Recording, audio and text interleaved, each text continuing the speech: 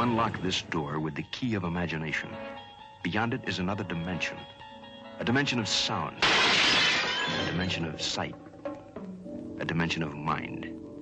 You're moving into a land of both shadow and substance, of things and ideas. You've just crossed over into the Twilight Zone.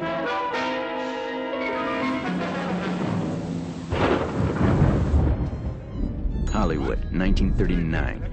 Amid the glitz and the glitter of a bustling young movie town at the height of its golden age, the Hollywood Tower Hotel was a star in its own right, a beacon for the show business elite.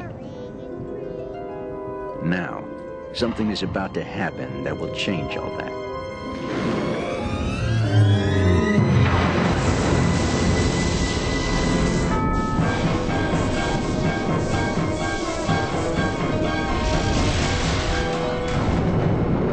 Time is now, on an evening very much like the one we have just witnessed.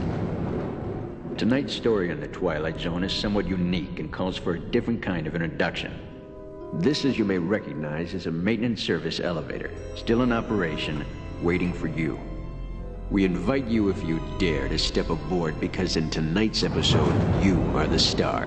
And this elevator travels directly to the Twilight Zone.